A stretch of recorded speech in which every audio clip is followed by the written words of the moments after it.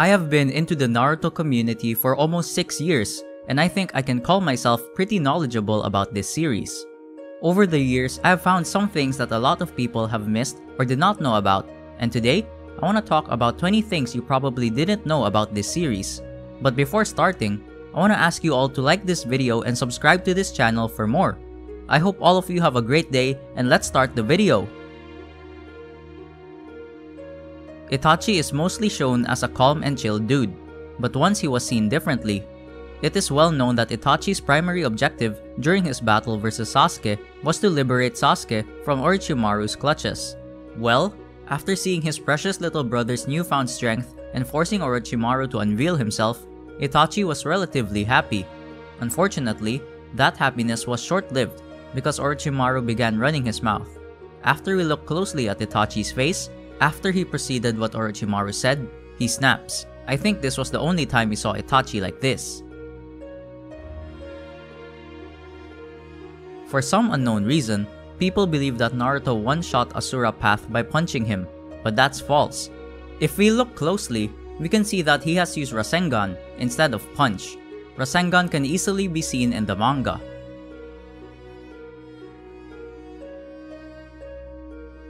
Also, in that fight, I have noticed that Hyugas are able to activate Byakugan only in one eye. As we can see, only the right Byakugan of Hinata is activated.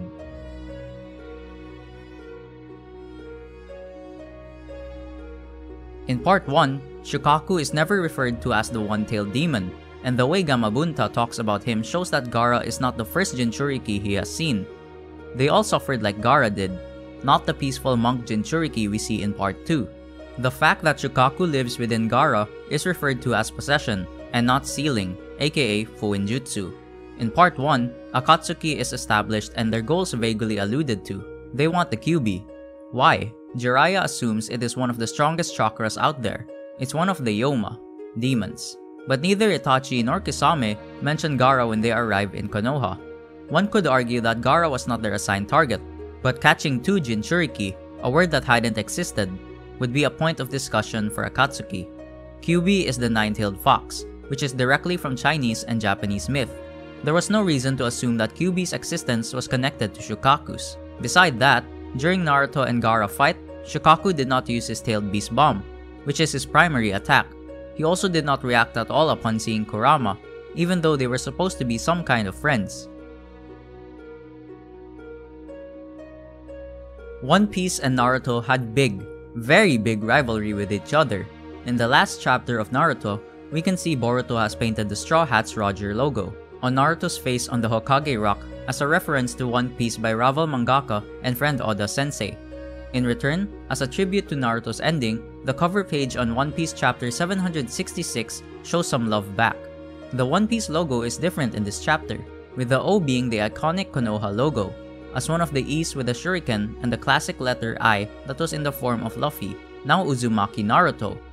The cover page had so many things Naruto related, for example, Luffy eating ramen, Naruto's favorite food, Nami as a waitress wearing a dress with hidden leaf symbol, and the little fox, who could be Kurama, eating ramen and wearing a Naruto fish cake shirt.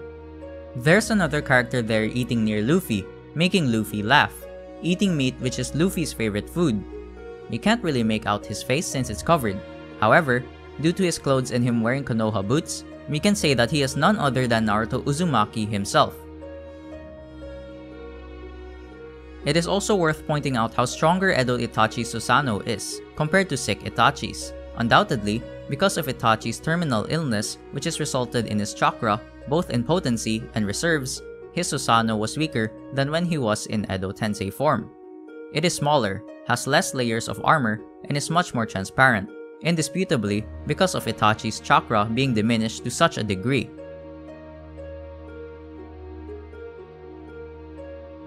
This was not the only interesting thing about Itachi, which you may have missed. In Naruto chapter 623, we can see Hashirama explaining some kind of ultimate technique to Madara, which is later exactly used by Itachi Uchiha in his fight against Naruto and Killer Bee. Hashirama's arguably the strongest technique, Shinsu Senju, is considered by many as the strongest technique in the whole Naruto franchise. A lot of people think that Hashirama is able to single-handedly defeat Madara and Kurama with that technique. In Naruto chapter 626, we can see that Madara has destroyed almost all the arms of the Buddha statue and that's why Madara and Hashirama had to continue their battle without their giant chakra avatars. Hashirama was clearly intended to have a different appearance in the series than he actually got in the end. We can see that he was intended to have a wider nose than he was given later in the manga. In the concept art, he had a long scar over his right eye, a prominent nose, and short hair that reached just past his shoulders. He looked more like Butsuma. He was clearly meant to be an older person, older than the 20s to 30s we see in part 2 anyway. In part 1, he had smallish eyes, broad nose, grim, stern, tired eyes, and noticeable tear troughs. He looks like a man who is at least in his 40s. Who knows? The shinobi life is hard, and young men can easily look old. He certainly doesn't give an impression of being young. You can see in the cover of chapter 303, he already has a thinner nose, though the tear troughs remain. His irises are larger, showing him as younger. Later, when he is revived a second time, he doesn't resemble his first revival. After the village has been built, Hashirama is developing the tear troughs, but in the battle after Madara defects, they are gone.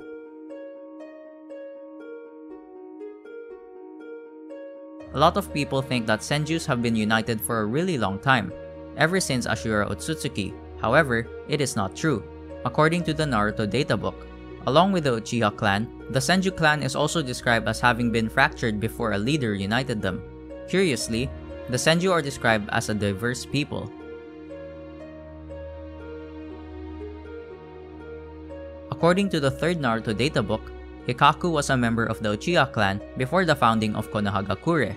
Despite his young age, he was one of the clan's most powerful shinobi and was also endowed with great leadership skills. Based on this information, we can pretty much say that he was the reincarnation of Indra Otsutsuki before Madara.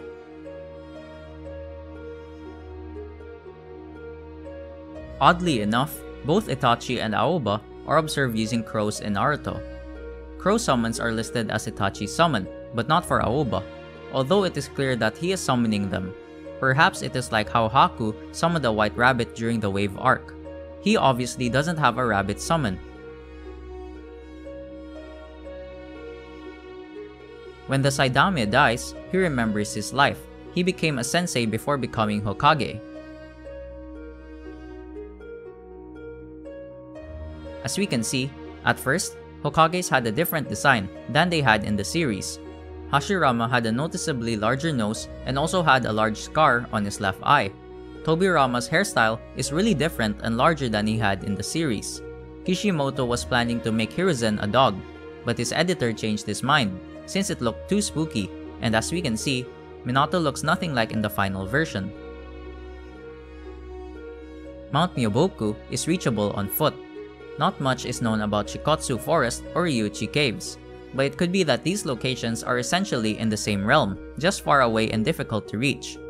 Here, we see who the latest three to sign the Toad contract are, but there have been summoners before Jiraiya. The stage for Sage training in Mount Myoboku shows us people who have been able to contact the Toads previously and attempted to learn the Sage arts. They are all ninja from before Jiraiya's time.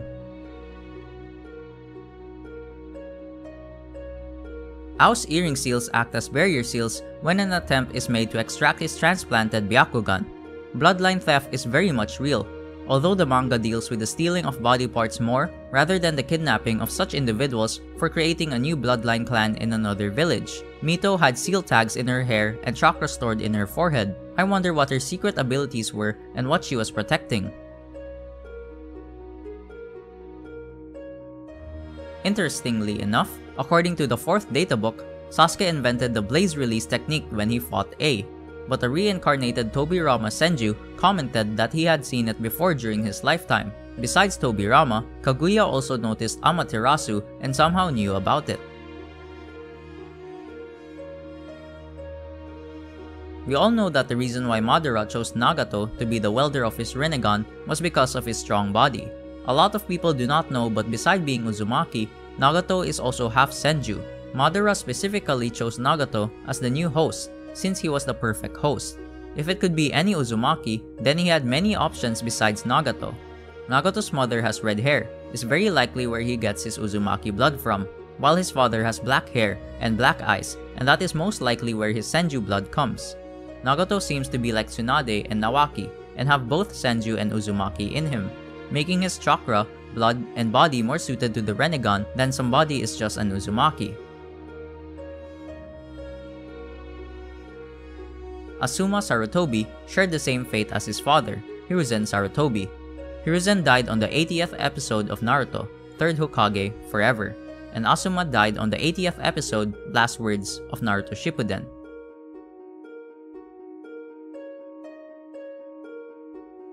After Madara implanted both of his eyes to Nagato, he should not have any eyes while he met Obito.